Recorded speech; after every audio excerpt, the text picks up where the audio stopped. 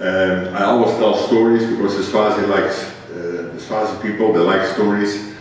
And uh, I always tell a story about a pencil.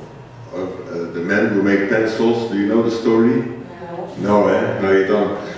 There's a pencil maker and he made all those pencils.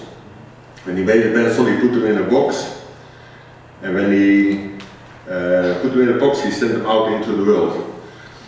And he put those pencils in the box and he took one pencil out.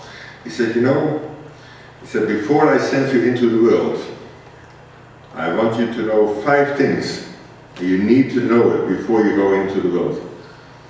He said, the first thing, what you must remember, is that you can do amazing and beautiful and most wonderful things. Absolutely. But you need to be in somebody's hand in order to do so. He said the second thing what you must remember is that sometimes you get sharpened, it's going to hurt you, you're not going to like it, but you need to go through that in order that you be a better pencil. He said the third thing what you must remember is that sometimes you will make mistakes, uh, but you have the ability in you to rectify those mistakes. You have to use it.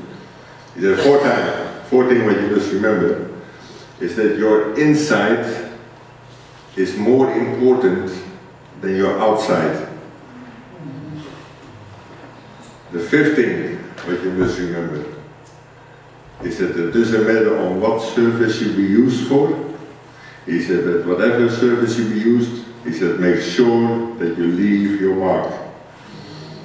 So the pencil looked up to him and he said, okay, I said, I promise that.